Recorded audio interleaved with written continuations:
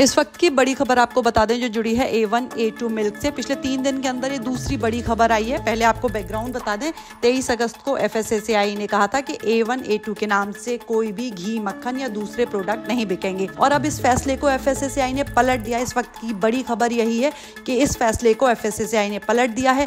F की ओर से जारी एक लेटर में कहा गया है कि इस रोक को वापस ले लिया है। हालाँकि इस लेटर में इस बारे में कोई जानकारी नहीं दी है कि पिछले तीन दिन पहले A one A two dairy product पर रोक क्यों लगाई गई और अब तीन दिन के अंदर ही इस फैसले को क्यों पलट दिया गया? इस लेटर में कहा गया है कि फ़िलहाल A one A two dairy product का बिज़नेस करने वाली कंपनी से बातचीत करने तक A one A two dairy product को बेचने से रोकने वाले फैसले को वापस ले लिया है।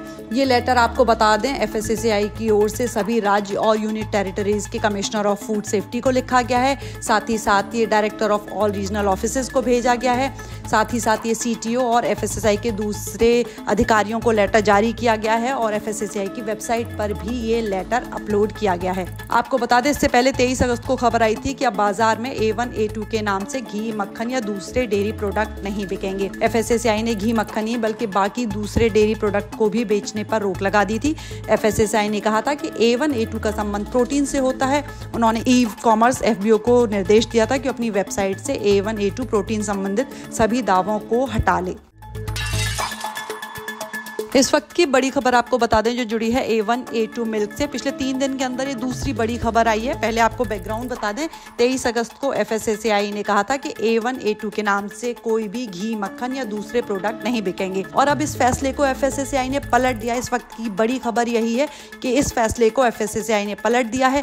एफ़ की ओर से जारी एक लेटर में कहा गया है कि इस रोक को वापस ले लिया है। हालाँकि इस लेटर में इस बारे में कोई जानकारी नहीं दी है कि पिछले तीन दिन पहले A one A two product पर रोक क्यों लगाई गई और अब तीन दिन के अंदर ही इस फैसले को क्यों पलट दिया गया? इस लेटर में कहा गया है कि फ़िलहाल A one A two dairy product का बिज़नेस करने वाली कंपनी से बातचीत करने तक A one A two dairy product को बेचने से रोकने वाले फैसले को वापस ले लिया है। ये लेटर आपको बता दें एफ़ की ओर से सभी राज्य और यूनिट टेरिटरीज के कमिश्नर ऑफ़ फ़ूड सेफ्टी को लिखा गया है। साथ ही साथ ये director of all regional office को भेजा गया है।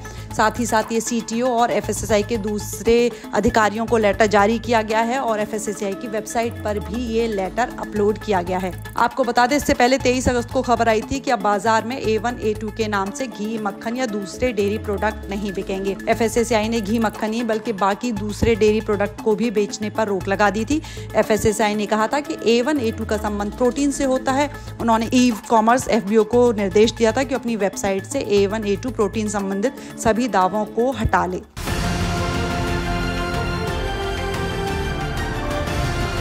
किसान तक। खाना है तो उगाना है। किसान तक खाना है तो उगाना है। किसान तक? खाना है तो उगाना है। किसान तक? खाना है तो उगाना है। किसान तक। खाना है तो उगाना है। किसान तक खाना है तो उगाना है।